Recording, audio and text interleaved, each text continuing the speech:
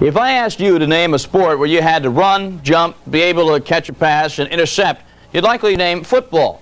You would likely be wrong. The sport is frisbee, or should I say ultimate frisbee. No, there are no Joe Montanas or refrigerators or Gary Clarks in this game, but that doesn't mean it's not a serious sport. Bruce Geetzen reports. And this all began 18 years ago in New Jersey and spread quickly across the rest of the nation. It's called Ultimate, as in the greatest, you know, totally awesome. Just feel each other's energy right now, man. Circus. In case you couldn't guess, that team is from the West Coast, San Francisco to be exact. The attitude, I think, of the West Coast la-di-da Yeah. comes from the early origins of Frisbee being long hair, counterculture on the beach. But this game is played on a 120 yard by 40 yard area, a tad smaller than a football field. It resembles rugby, but you can't run with the ball or disc. You have to pass it to teammates who must maintain a pivot foot or be called for traveling.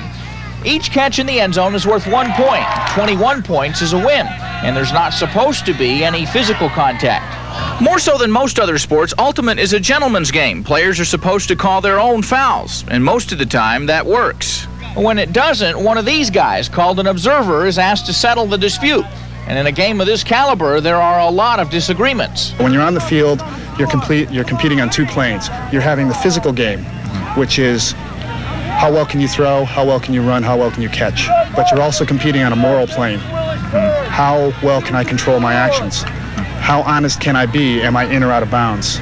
Miami and Penn State might argue, but this was the ultimate national championship. Flying Circus, the guys from San Francisco in black, were the defending champions. The other team is from Chicago and appropriately called Windy City. We've done it before, we're gonna do it again!